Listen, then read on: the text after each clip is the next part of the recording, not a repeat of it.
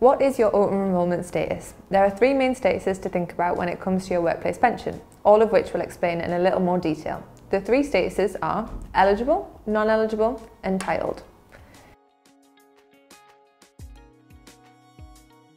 Eligible is exactly what it sounds like. It means you're eligible for auto-enrolment. You're eligible if you're classed as a worker, aged between 22 and state pension age, earn at least £10,000 per year and work in the UK.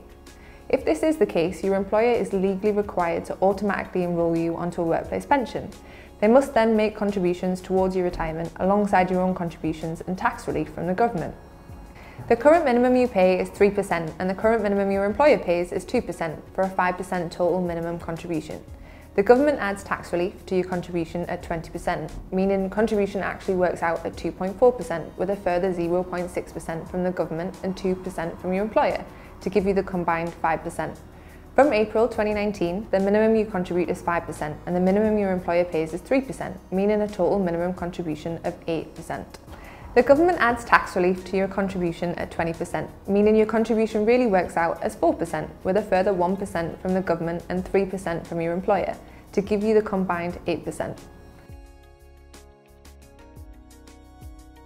There are two ways you can be non-eligible. If you earn over £10,000 and are aged between 16 and 21, or between state pension age and 74, or if you're aged between 16 and 74 but earn between £6,032 and £10,000 per annum.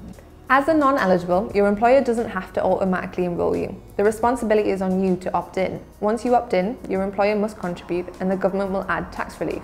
This will help you to build money towards your retirement. Entitled workers are people who are entitled to join a pension scheme. These workers, who are aged between 16 and 74, are working in the UK and make less than £6,032 per year.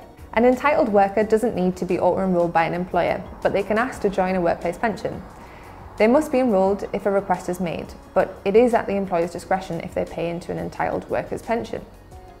If you want to know more about your status, get in touch. Chat to one of our experts online or call us between 8am and 8pm weekdays.